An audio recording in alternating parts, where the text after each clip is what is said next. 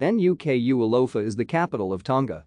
It is located on the north coast of the island of Tongatapu in the country's southernmost island group. On 10 June 1777, British Captain James Cook wrote of his arrival at their anchorage place. His description of the place confirmed, with his map, that this was the Bay of Nuku'alofa. The first written record for Nuku'alofa is stated in the first dedicated book for Tonga by George Vason which was published in 1810. George Vason was an English missionary from the London Missionary Society who arrived in Tonga in 1797.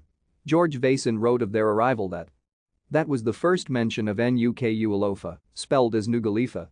Vason's unusual spelling of Nuku'alofa and Pangaimotu was because the standard Tongan alphabet would not be developed until 1826-27. The second oldest book dedicated to Tonga was by William Mariner, adopted son of F plus now Ulick which was published in 1817.